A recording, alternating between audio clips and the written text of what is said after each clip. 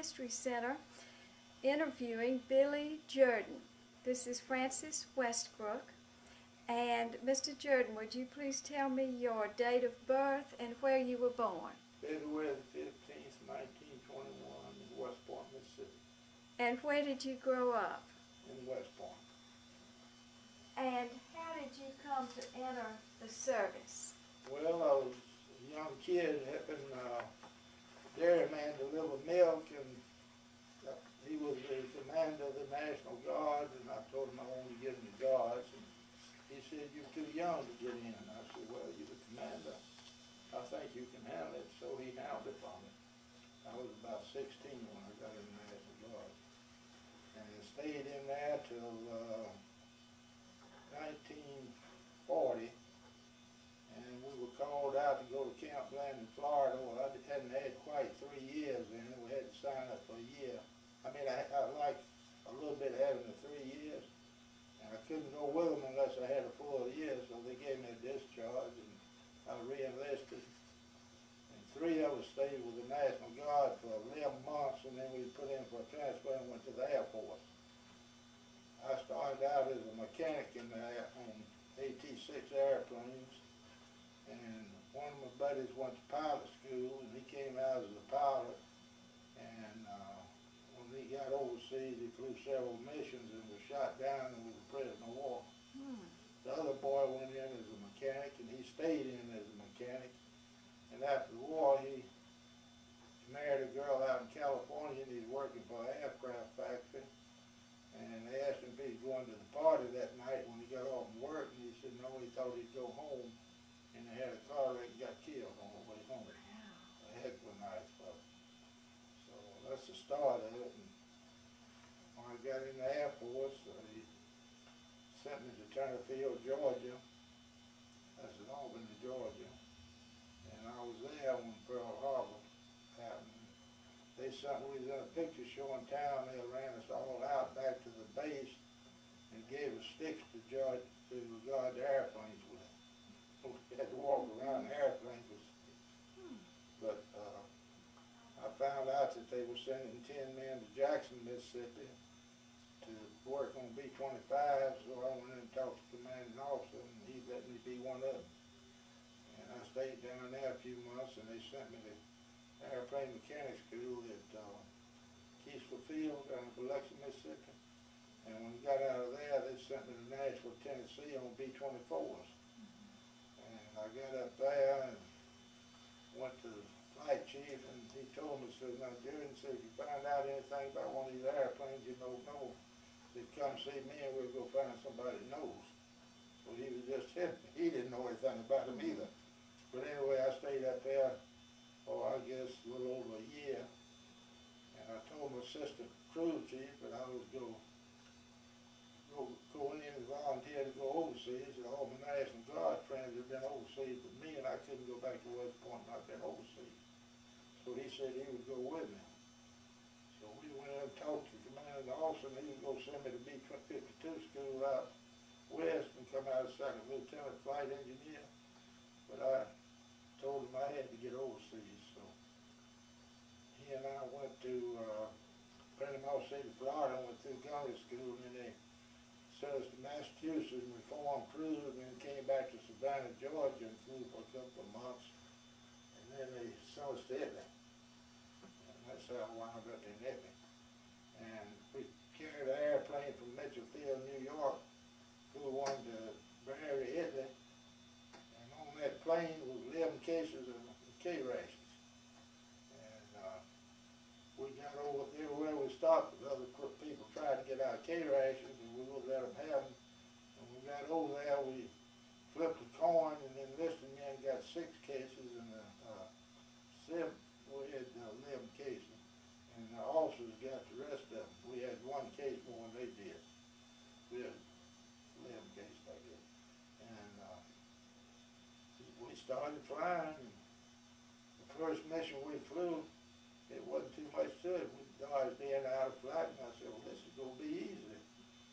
second mission, I got hit in the leg, and I wondered what in the world I'd done. I, I could have been in Nashville coronership, but anyway, I went on through 32 missions before the war was over with. Mm. We made a emergency landing at Tuskegee Airmen's Hill one day. We had two engines shot out on one side.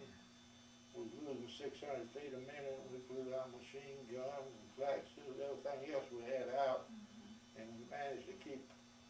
altitude then till we got to that base and we started into land. And the co-pilot had the wheel shot out of his hand, his fingers were blood and all, and he, uh, we started in, we was coming in a little lower, and he gave it all the power on the side, they had a good engine, and turned it up like this. I pulled the power off of it by being there with the pilot and co-pilot. Pilot said, what we gonna do? I said, we're gonna have to hit that field out there, 'cause we can't go around. And we hit that field out there, and rolled about a hundred yards, and the rig turned sideways and skidded. And, uh, first man to the airplane was, uh, Black Chaplain. And We had one boy from South Carolina, he lives in Rome, Georgia now. He said, if any of you ever go down in the water, tell my family I walked trying to get out because I can't swim a lick. And when the plane stopped, he raised the window and bailed out. He thought we was in the water and we would like to kill him. He was about ten foot down there. Like to kill that poor guy. But we stayed with Tuskegee Airmen for three or four days and they finally came up there and got us. And C forty-seven flew us back to our base. We got back to our house and our radio operator didn't fly with us that day. And he packed all our stuff up, getting ready to send it home. Now, Apparently, he didn't know what had happened to us. He couldn't find out what had happened to us. And, but he, he turned out he was the closest friend I had on the plane. He lives in uh, Kentucky now. Uh, I was in Bari, Italy one day and it came out with stars and stripes. If you had eighty points, you could get out. So I went up to, the back to the base and gave the first sergeant that paper. And he run me out of there and said, you're not going anywhere, that don't mean you. And then about three or four weeks later, my three years ran out. I went in there and told him, I said, now next week I'll be a civilian and civilians not fighting this war. I still got to run our dogs and I didn't get to come home after the war was over. And we borrowed a plane home from Italy. And while we were there waiting on a plane, when we got a pass and went to Rome, and visited Rome about three or four days. Got back and they came up with a plane for us to bring back to the States and we left Newfoundland going into Massachusetts we lost the engine, came in on three engines. So, and uh, they kept the records of the airplane. They didn't give each number a record of the airplane.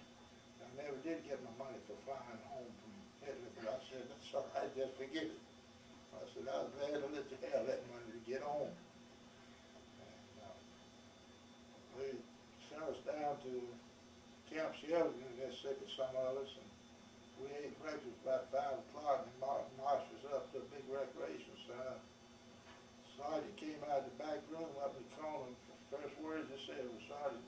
The wants to see you. I said, my gosh, I hadn't been here an hour, and he wanted to see me for something. I went in and reported, and he said, you got a lot of points, what you wanna do? I said, well, I'll take that discharge. He told me to get on the corner there, and he'd have a truck pick me up. About ten minutes, the truck picked me up and took me to separation. I went in, got me a bunk, laid down, looked between my legs, and the boy on the other side over there, one left, and last the guard was up. He got out one day before I but when I got home, all the boys laughed at me when we signed up for three years for the Air Force. That they'd be home in, in just a few months and we'd be gone three years. Well, I met most of them when they came into West Point. I used to go uptown every morning to the cafe and sit there and talk to people and all. And I see one coming down the street and I'd run out there and hug him.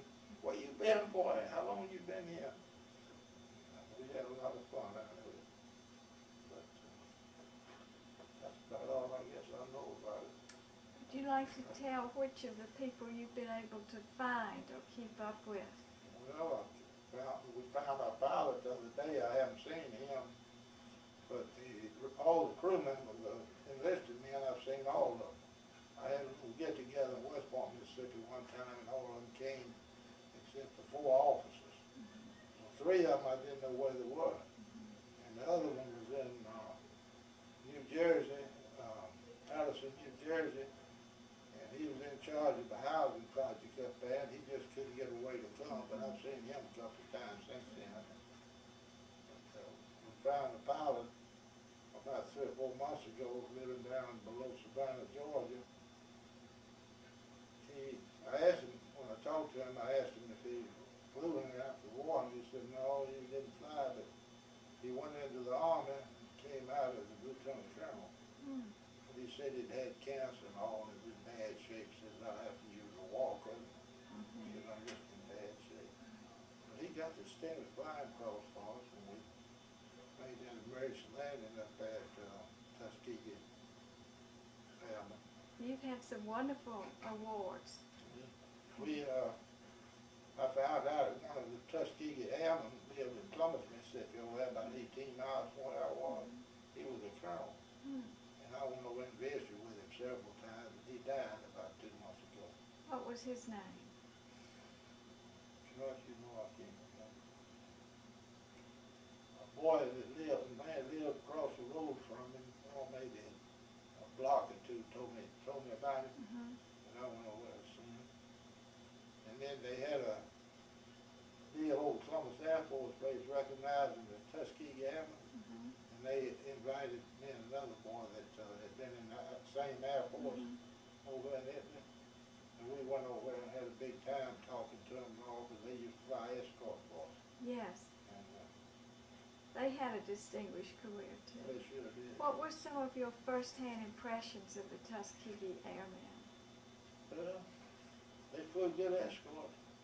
But everybody said the reason why they stayed in so close to us is they wanted us to protect them because we had ten machine guns on each plane. But Yeah. they did it, we did it. We They- did an interview good fellas. And do you remember where you were when the war ended? I was in Spinazzola, Italy. Mm-hmm. We didn't, my crew, I didn't fly any the last couple of months of the war because my crew had more missions than anybody else in the squadron. And they were flying boys that had just come in over there. And I like three missions of finishing up. I had thirty-two and you need thirty-five to Hmm. finish. But I had two men on the crew that had flown with another crew members were sick or something, couldn't fly. And they flew and they got that thirty-five, two of them did. And they came home by boat. We flew home. Were you able to keep in touch with family, with V-mail? At all, could you keep in touch with your family when you were Oh, overseas? no. Not when you God were. bless with that. Mhm. They didn't have nothing back here then but mail. Yes. My grandmother died while I was over there. Oh dear. Several days before I knew about it. It was rough. What's the most, uh, the strongest memory you have of your time in the service? Well, that mission that we flew and went into Tuskegee Air Force was pretty good memory, because we had to throw everything we had on the Air Force plane that we could get loose to keep our altitude. Slept with it in that box up there and ate out of their mess kits and everything else for about three days. Mm-hmm. But I didn't see but two dead people the whole time I was in the service. The pilot lived, the crew lived down there close to us, in the barrack, in a tent. He went into Barry Hill and got some pilot to fly and piggyback on a P fifty-one. And they came down over our base and instead of coming in long ways, they came crossways and went into a mountain. Hmm. I saw bodies up at headquarters one day when I was up there, yeah, back into that truck. But that's all we did was I saw them. And didn't care about seeing them. No. Would you like to hold up that picture and tell us about it? Well, this is a picture of our crew. Well, we never flew the same number two days in a row because they always had holes in them and they had to patch them. But this is my whole crew right here and every one of us came home from the service. Of course, we got, I think we had three Purple Hearts on the crew. I haven't located the co-pilot, these two men right here. I haven't located them. Don't know where they are. But this fellow located the pilot for me, said that he found the, the pilot's name, uh, he, he died out west somewhere, and then the co-pilot, he never did find anything on him, but he did when he's checking, trying to find, he found a crew that had a Billy Jordan on it. Mm-hmm. And the man pilot, he found the pilot and he told him that Billy Jordan had died, the crew said he was on my crew and he did. He told him, he said, no, not the Billy Jordan I'm looking for, cause he lives Point, Mississippi. But, uh, I, I thought I didn't know him because a lot of people in those squadrons over there. You'd like to tell us about your hat? Well, this hat, if you can read it there, it said, it said Bologna across the front of it. My granddaughter was over in Bologna, Italy last year, and she, her husband had a cousin or two over there, they visited, and she saw this Bologna. She said, oh, I got to get that for granddaddy, because that's where he got hit flying over Bologna. So she sent it to me, and I put medals on it. I need another one right here, means ten more missions, and, uh, it didn't have Italy on it, so I go in one day and they took it down to a place and they put Italy on it. But when I washed it, all the letters came off of it. People in West Point won't know what I was doing advertising baloney. Wanna tell us a lot of about the- explaining to do. Very nice. And tell us about your scrapbook. Well, I sent the pictures home and my sister fixed it all up. It used to have a picture of an airplane on it, but it just, the outside cover was just torn up. And My granddaughter in Atlanta got this and fixed, fixed it up. She did a real good job on it. Sent all these pictures home and they,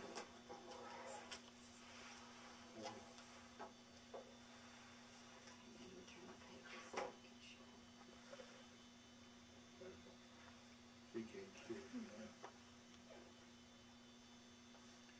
That's a wonderful keepsake.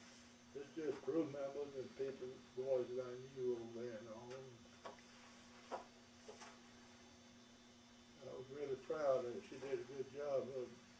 That's one there was, got hit, wind wind blew off of it. Didn't see any parachutes come out. Sometimes you could see a couple of parachutes come out when it went down like that, but not often.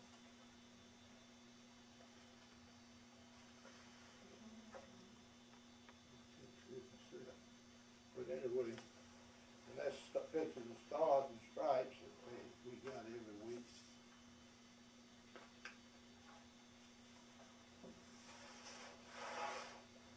This fellow here, this plane here, standing on his nose, we don't know what happened, but it's still, he was standing on his nose and he, uh, four men in the nose got killed. And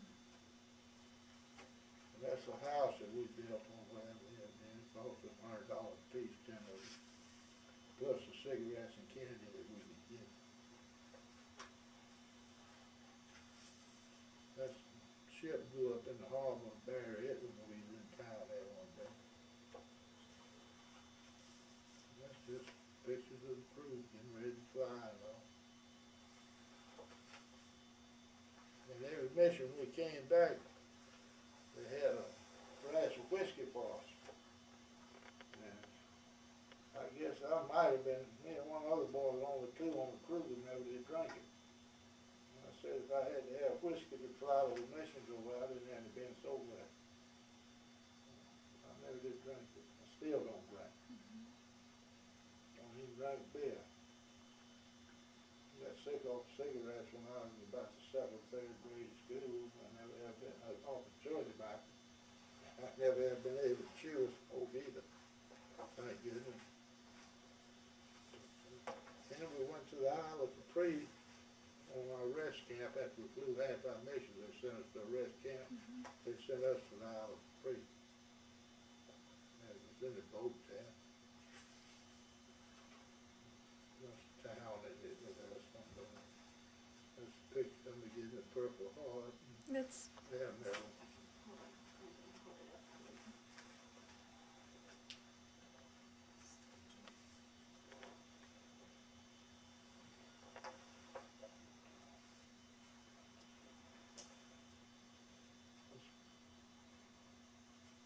Price came over the first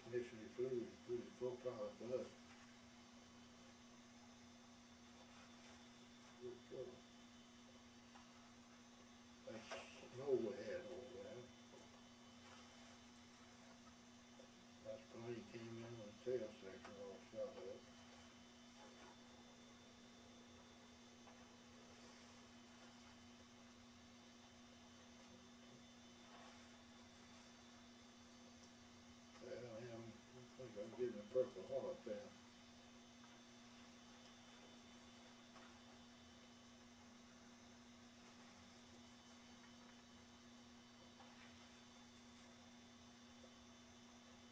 Uh, P fifty-ones at Tuskegee Airmen Club.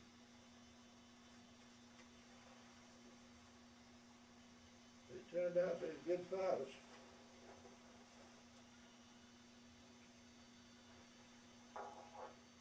Well, what effect would you say World War II had on you as a young man? You know, thinking about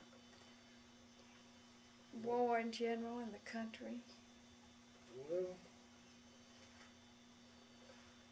between the raising I got from my dad in World War II, I turned out to be a pretty good fellow.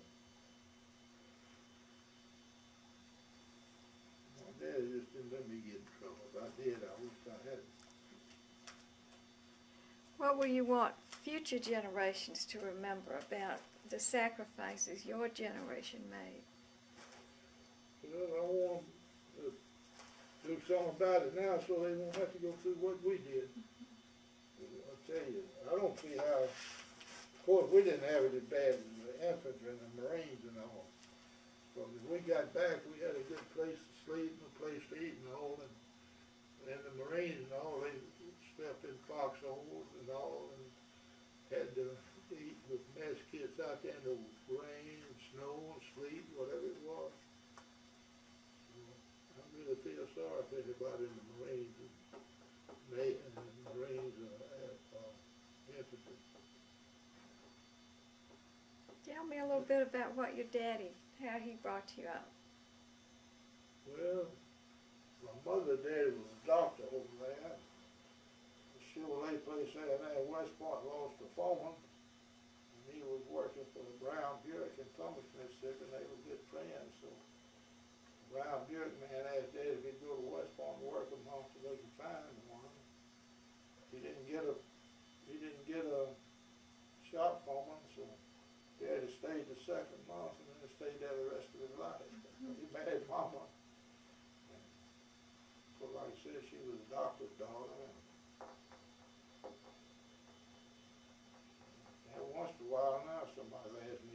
you Dr. Boyd's son and grandson? I said, yeah. And he'd been dead since uh, about 32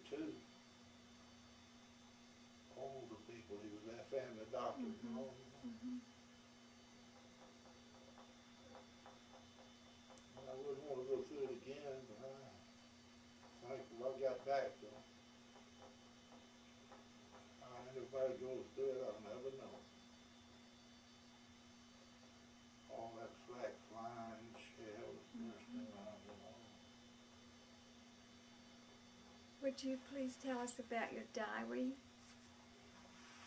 This is a list of all the missions we flew, and I don't know why, but when we got back from our first mission, I started writing down about it, and then I wrote down about every mission we flew, the uh, plane we flew on, and the altitude we flew, where we flew, how many bombs we had, anybody got hit or anything approximately how many holes we had after we got back.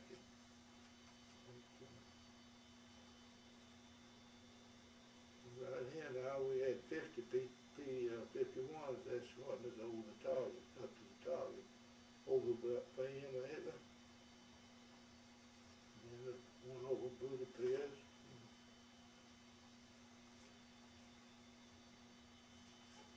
And We did, uh, hit motor work southeast of Vienna, target not bombed because of heavy overcast we had to have visual on some of those targets, and if we couldn't see the target, we didn't get to drop our bombs.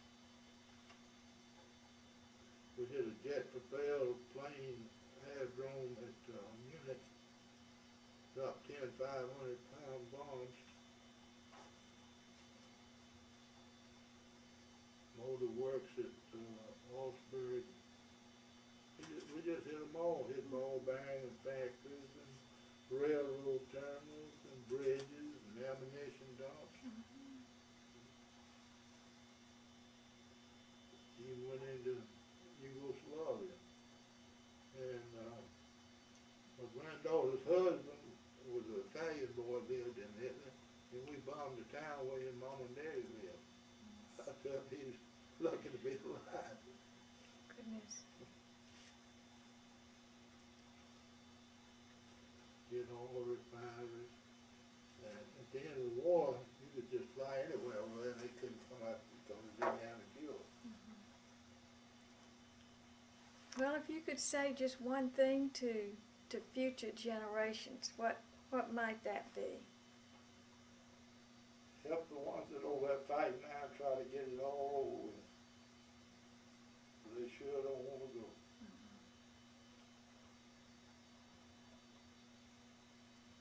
My wife is, I've been married before, my wife's got a nephew that's a Marine, and he's been stationed in Formosa now.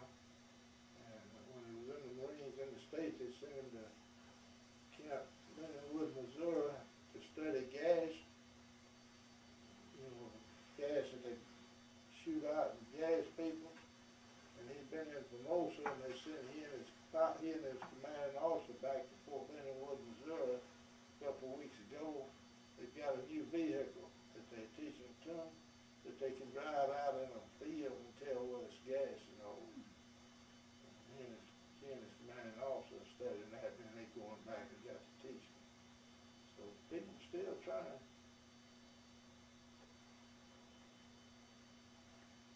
Well, we certainly thank you for sharing your account with us.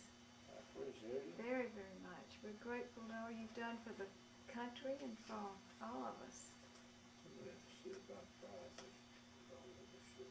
There's a, that would be twenty-four to still flying. Hold that up. Good. crew member up in, uh, in Louisville, Kentucky sent this to me. He went down to see it. I think it's just one B twenty-four still flying.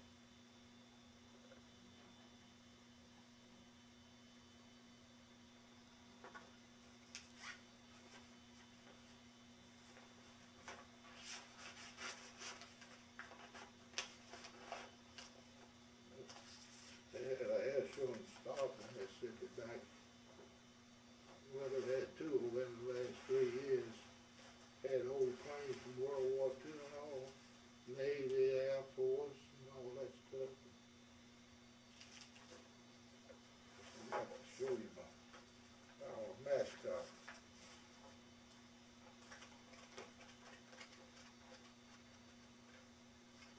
Our mascot is a, was a Black Panther. Here he is. There he is when he started flying. There he is after the cruise mission. Can't see, can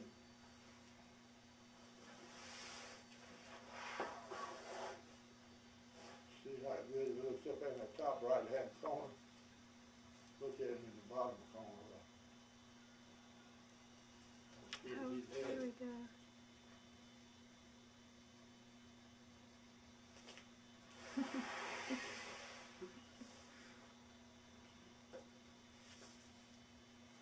Put your head down.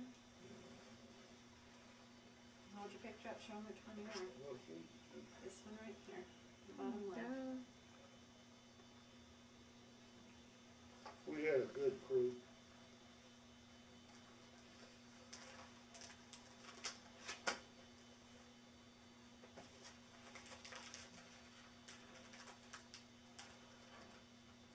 Well, Well, we- that, that end today. That was made up at the church.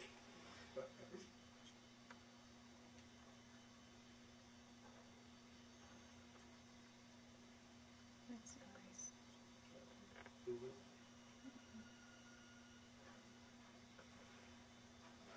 Our church took pictures of all the members. I didn't wanna go up there, but my kids told me to go with it. so.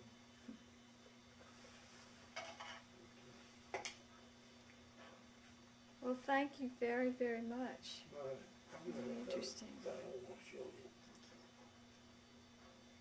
My uniform and all hung in the closet over there for fifty years, I guess.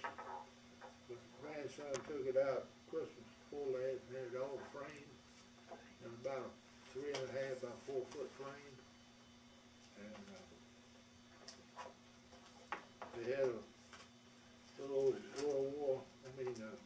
a museum up there, and the man's in charge of it, had seen that picture up at, on the wall at my office. And he wanted to take it up there, and he said it had more publicity from that than anything up there. Mhm. But he found it.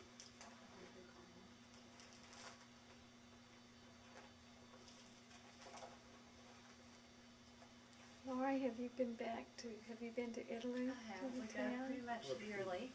How wonderful. Sometimes twice a year, and my husband's family was in the area where he was bombing at the time, and so it's very ironic that Why don't you go sit with him and tell us a little bit about that? I'm gonna try to get this in the camera. Let me see if I can find the mission page where he actually bombed the bridge where Mm-hmm. my husband's family lived. I what the mission number was. so Brenda, did you know? You know, Wasn't there a bigger picture of what you're looking for? Didn't we have it? I don't know if it was in you there.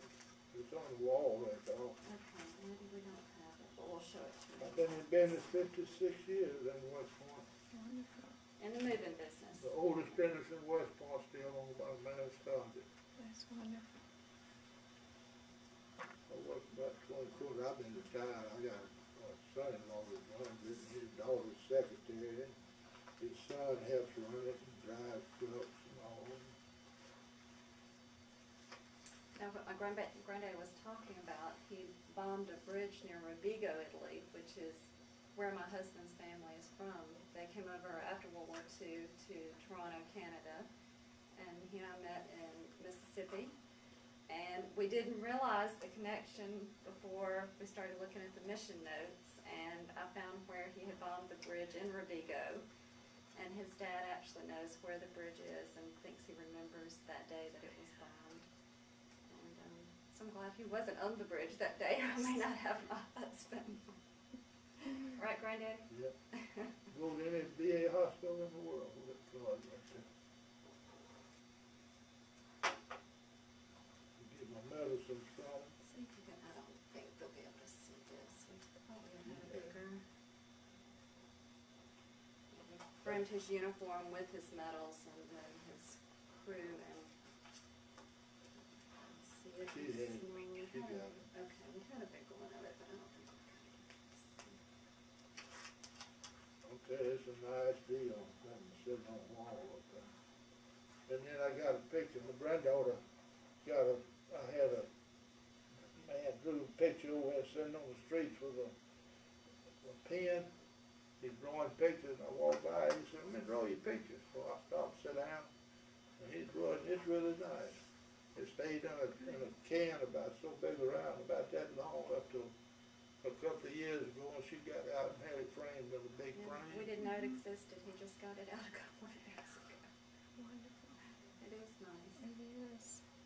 But I'm proud of that, that's, that's nice. Everybody comes in the office and has something to say about it. Mhm. I go down there every day, but I don't do anything. And too, been too long for me to be doing anything. Do you think about your experiences very often in the war? I dream about airplanes every once in a while, just like it's, just like it's going on there. and- Oh, really? I wake up morning, I well, fought the war last night. Hmm. They had, they had boys in the, in the, in St. Asylum over there in Italy that uh, go crazy. Mhm. I had to lock them up, so they go crazy. But I haven't gotten that far yet.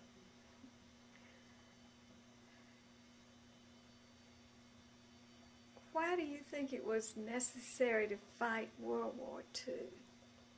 Well, we had to stop Hitler, somewhere, just like the war now. We got, had to stop all that, uh, stuff that's going on now. A lot of people don't think so, but I believe if we wasn't over there fighting there, it'd be over here. That's my belief. But they, they, if it wasn't for us, it wouldn't be a France.